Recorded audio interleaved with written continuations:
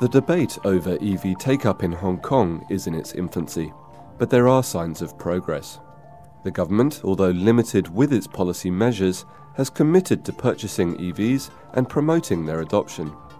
While government officials want the private sector to share this responsibility, green tech businesses also want more help from the government.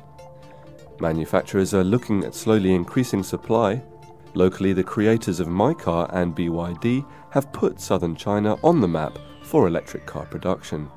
And one power company has also begun building charging stations. But all the while, green groups are frustrated at the lack of action to curb the increase of roadside emissions. In that argument, EVs are only part of the solution, and they worry that key issues are being lost. Ultimately, however, whether EVs succeed in Hong Kong will depend on the consumer.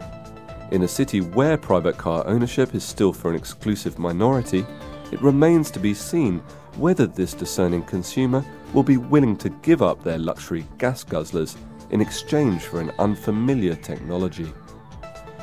Dealers like Nissan and Mitsubishi hope so. At the moment, one can only guess. But for a hint of the future, keep an eye on showroom windows.